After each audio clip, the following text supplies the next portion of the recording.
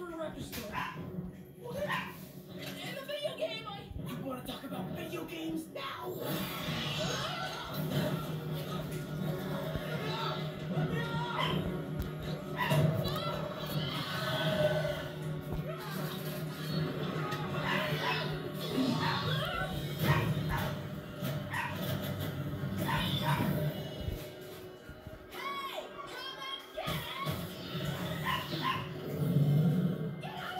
Yeah.